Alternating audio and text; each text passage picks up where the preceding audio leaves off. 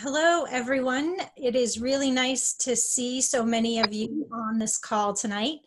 There's about 10 participants, and we're hoping to at least about six or seven, well, six other ones registered, and hopefully they'll come in a little bit later. I just wanted to give you a little bit of background on why we're here and how we started these. And then I'll turn it over to Amy Woods, who is going to share with us how Globe looks in her classroom. The reason why we started doing these is because we had a lot of teachers who were mm-hmm. first time teachers coming to the SRS and a lot of other teachers who weren't sure how they were going to come to the SRS and what that looks like in their classroom and preparing for the SRS. Can everybody hear me okay? I just want to make sure because I have a child outside my door who's playing Legos. So I can hear him playing. Um, so I just want to make sure you can hear me too and not just him. So that's good. Thank you, Larissa, for giving me the thumbs up. So um, what we're going to do is just kind of go through what the SRS is. These are the student research symposia. There's six of these that take place across the country.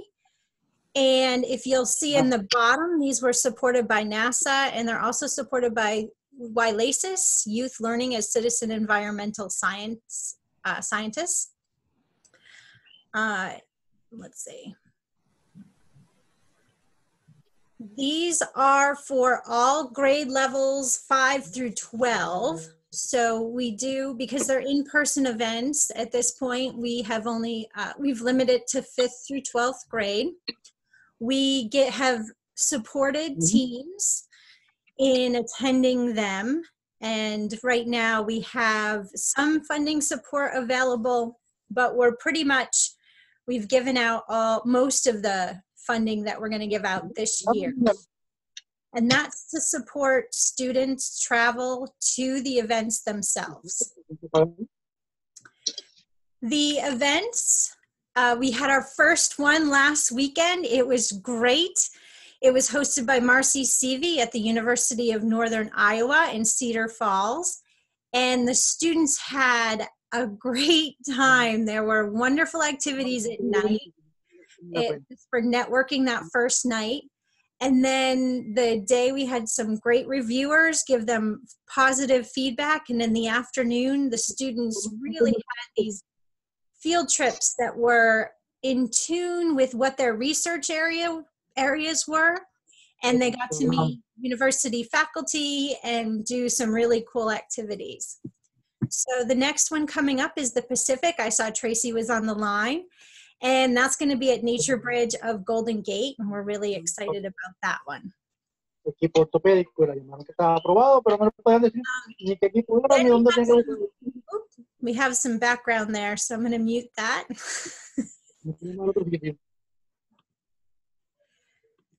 okay, um, sorry about that.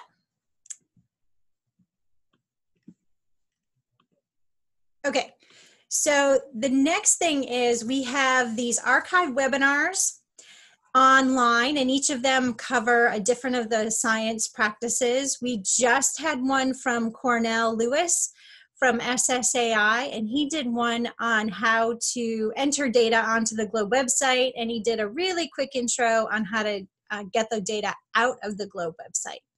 But we also have some other webinars and resources on the Student Research Symposia web pages. And we just added a few new resources that you may just want to take a quick look at those pages again because we did some other ones on uploading data and also uh, poster making. So we added those recently. We have a teacher hotline. Our teacher hotline is staffed by teachers that have gone to the SRS before. And if you have a question, you can fill out a simple Google form and we match you up with a teacher that would have some experience with what your particular question is. And so we have that as a resource for teachers. We also have some blog posts by teachers, and those are correlated to the science practices. And so those are on the science practice pages. Or you can also visit my blog, which is where they posted theirs as guest bloggers. And we are still trying to get student videos. We have not had any submissions for that. But what we are looking for is students to kind of talk about how they do one particular step in the research process.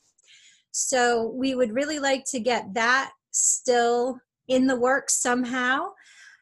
Uh, but I know you're busy. I know teachers are busy, and uh, but if there's a way to work that into maybe some of the assessment that you do as a you know proof of how they can um, for instance, analyze data and make a short video on it. We would love to have things like that from students. And then we have a teacher list serve. If you aren't on it, that is the best way to stay up to date on the SRS, the deadlines, and also about webinars that we have. And we try and highlight a teaching resource or a teacher in each of those emails. They come out about every other week or every three weeks, depending on the time of year. Uh, it, we they come out more frequently when we're closer to the SRS, and then during the rest of the year, they're kind of every three weeks. So this is the web page for reaching all the information that I just talked about. The Student Research Symposia. We'll be posting the media from the SRS in Iowa that uh, last weekend. It was also on Instagram, Facebook. We did some Facebook Live stuff, and uh, it's on Twitter as well. So you can search for our hashtag, and it is hashtag Globe. Uh, let's see, under bar SRS under, underscore SRS 2019. So that's all I have. I'd like to turn it over to Amy now. And I will say that it has been a pleasure getting to know Amy. I remember the first year, she was one of our first SRS teachers at the very first SRS. And that took place at NASA Goddard. And I just remember meeting the student that she brought. She brought one single student, right, Amy? Is that correct? she brought one single student and from there her program her globe program has just blossomed and we are so lucky to have her talk about this because over the years it's been so wonderful to see what has happened in her classroom and how it's expanded and how she's been walking away with recognition uh, students that get recognized for the great work that they're doing in her classroom so amy it is a great, great honor to have you here. So thank you so much for doing this. Well, thank you for allowing me to be here, and thank you guys for pre- allowing these opportunities because this is everything that I've had been looking for. And um, without all of the support from you all, we definitely wouldn't be uh, anywhere near where we are today. so thank you all. Um, I'm going to try to share my screen. Is that okay? Yep. Okay.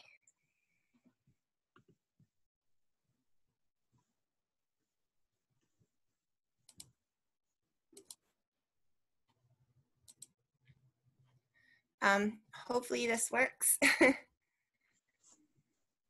can you all still hear me? Yes. And can you see my slides? Yes. Okay, awesome. Perfect. Um, so we we are in a very small school in um, Gettysburg, which is a very small town, and we do a school-wide science, uh, which we now call symposium, um, after after having gone to Globe and um, seeing the symposium and liking the symposium idea uh, better than just the regular um, science fair idea, um, we turned it into a whole school science symposium. So our pre-K through three does class projects, uh, four through six, which I run, uh, do class group projects, and then seventh and eighth, which I also run, do uh, individual or small group projects that are much more in depth. And uh, each year I am able to do a little bit more globe um, in each class. So in four through eight, at least one part of what they present has to do with the globe protocols.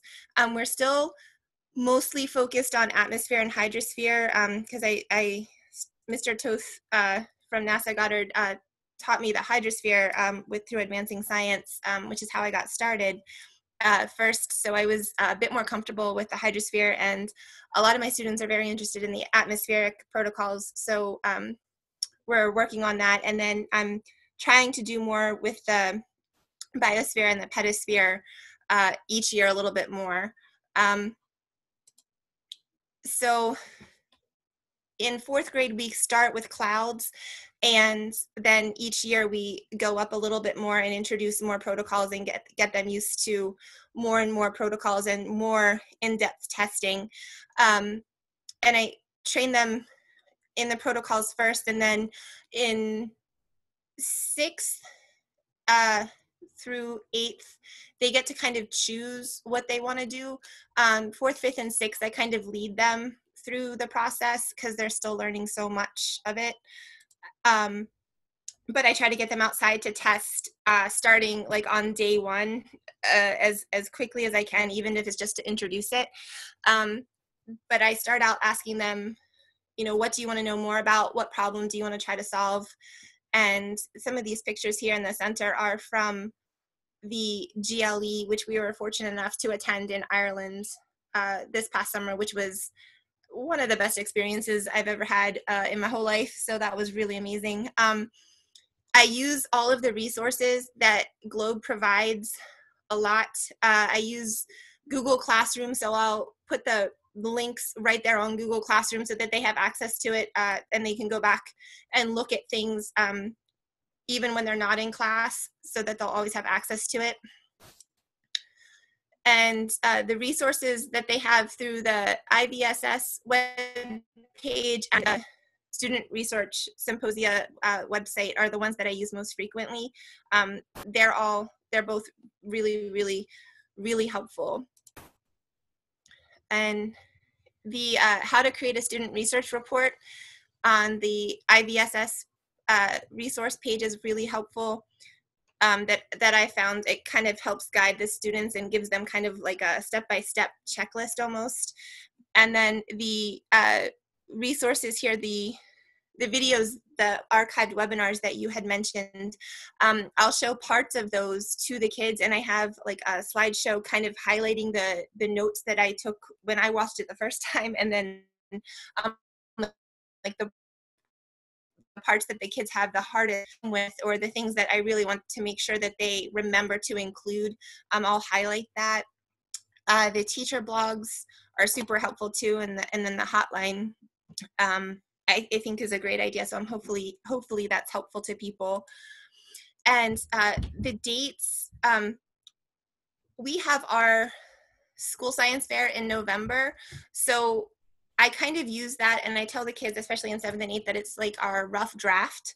Um, obviously, they have rough drafts prior to that before they present um, at our fair, but I say, you know, this is a chance to present your data to the public, um, to the judges that we have come in that are like just kind of volunteers. Uh, some are parents, some are some STEM professionals in our area um, to come and talk to the kids and ask them questions and just get them comfortable conveying what they've learned.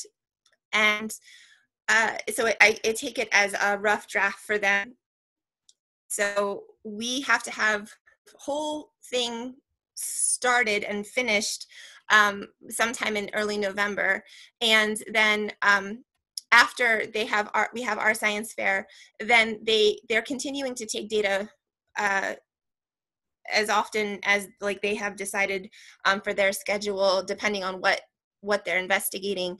Um, they'll continue to take data and continue to add that, and then they'll go back and use the feedback from the judges from our fair to help um, improve their project and to like go deeper and then with the help from uh, the Globe mentors, uh, guests that we have come in from um, local organizations like Advancing Science and um, Mr. Toth uh, and other Globe partners, um, they that help the kids.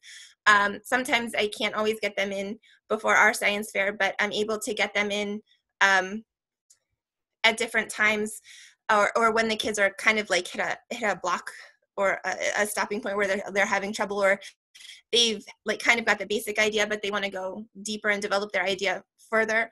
Um, so these the globe mentors and the globe partners have been incredibly helpful um, to, to me and the students for helping us understand uh, this year we were fortunate enough to actually have a webinar with uh, mr toth and dr pippin and uh, angie rizzi um, to help one of my students who is doing aerosols, which is uh, definitely not one of my strong points.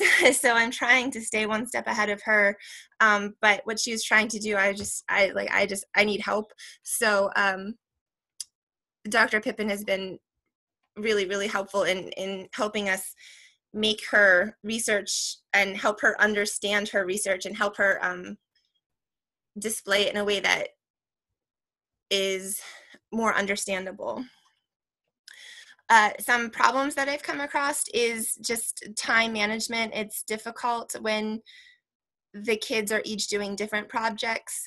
Um, we learn to use clipboards uh, whenever we go outside. Uh, so we attach our data sheets to clipboards. I have a, a, milk crate full of clipboards with pens attached with strings with the data sheets on them and the cloud viewers uh, from UCAR uh, on the clipboard so that when we go outside, I have a plastic bin with all of the equipment for that particular protocol that we're working with.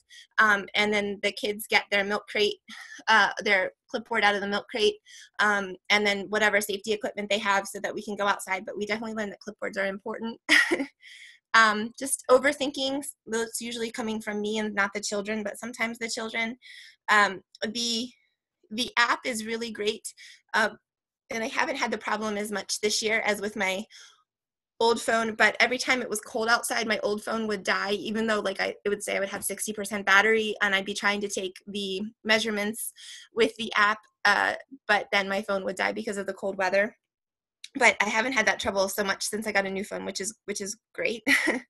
Um, in 2016 this is uh, my student maddie sig uh, this was my first experience with globe uh, and like i said mr toth uh, was at a presentation that a training that we were at at advancing science and he started talking about globe and i was like well my one student is doing water quality research and this fits in perfectly and so it just kind of went from there and she ended up getting uh, the award at the SRS, and um, we found out that the IVSS was due at midnight that night. So after we finished uh, presenting at the SRS and all the amazing opportunities there at NASA Goddard, um, we spent the rest of the night in the hotel room finishing and recording her project and submitting it to um, Globe. The, ver- uh, the our first Globe IVSS, I think we finished and submitted at 11:58. Um, so was closest I had ever come to um, the deadline, but we we made it just in time. And then she was actually able to attend the annual meeting that year in Estes, Colorado. And then this past year, we went to the SRS, which was in Buffalo, and I had seven students, eight eight students present there and then i was fortunate enough to be able to take four students to the gle in ireland this past summer and they have just had an amazing time presenting and meeting new people and getting inspiration. Uh, anna actually she got her inspiration from what she saw um, at the buffalo SRS and uh, some of the projects that were presented at the GLE, uh, she got her inspiration for this year's project from them. So that I thought that was a really great uh, um, connection that she made as well. And this year uh, we have um, 14 projects, six uh, individual or team projects uh, from my sixth and eighth graders, and then I have class projects for fifth and sixth that we are working on completing as a class. Um, and then the sixth grade is, is, broken up into smaller groups. Um, I have uh, the nine students that I hope to take to Boston. I know most are interested. We're trying to finalize those details. Um, at the moment, all nine are going, so I'm hoping that that continues as we continue uh, with the registration process and everything and just wrapping up the final details. Um, so I'm hoping that I can get all nine there. And then um, I'm hoping that at least half of them, or I really like all of them, to attend the annual meeting and present in Detroit. Uh, I'm hoping to continue to inspire these students that they continue to get inspiration from all the other Globe students and to inspire um, more of my students to take on the IVSS and SRS challenge because it is a lot of work. Like they work all year on it. Um, each time they present and get feedback, they improve their project and try to go a little bit deeper so that by the time the IVSS and SRS comes along um, that they have received at least a little bit of feedback and have made more improvements and just uh, been able to work with their data and understand it and present it better. Uh, I am hoping that this will play. I have some student feedback um, about why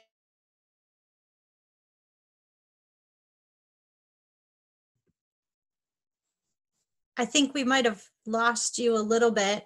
I'm hoping you come back.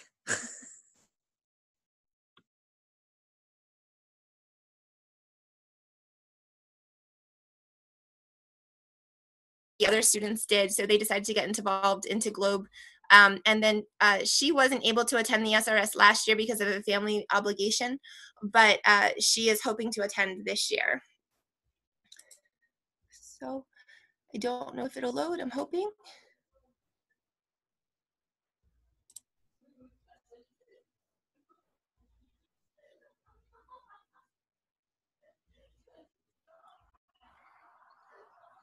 My name is Lily Shiner, and I've been doing Globe for two years. My favorite thing I've done with Globe is go to Ireland last summer with the GLE. I like Globe because I get to connect with students around the world and make a difference in my community through my project. Thank you.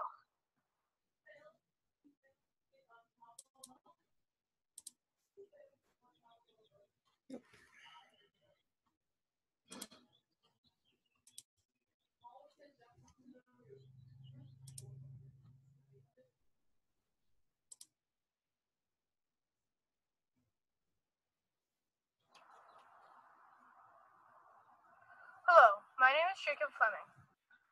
I like to do Globe because it gives me the opportunity to meet new people. My favorite part of doing Globe is that I get to take the different scientific measurements. Thank you.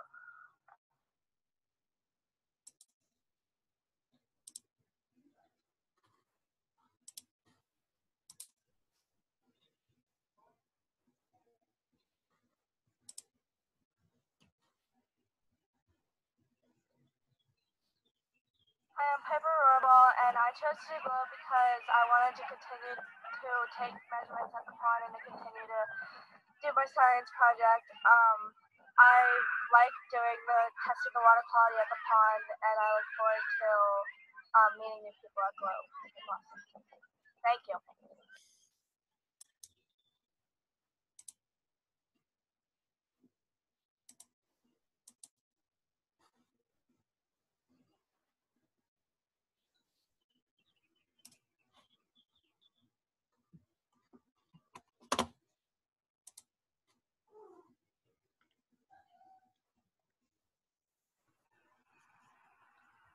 My name is Sophia Willard. My name is Molly Fleming. And my name is Gabe Woods.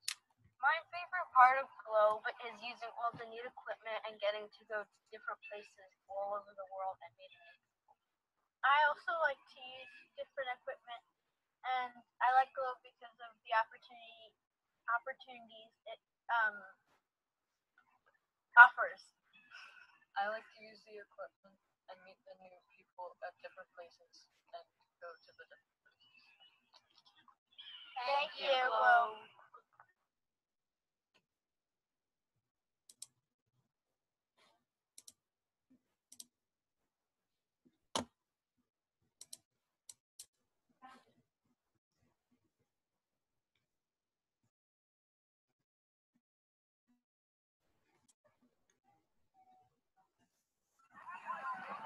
I enjoy doing Globe because it, it gives me the chance to interact with other young scientists around the world and working with experts in the fields of investigation. I started Globe this year because I wanted to do a project that I could share with my community. So and with the world. I've enjoyed doing Globe so far, but my favorite part has been the data analysis of my project.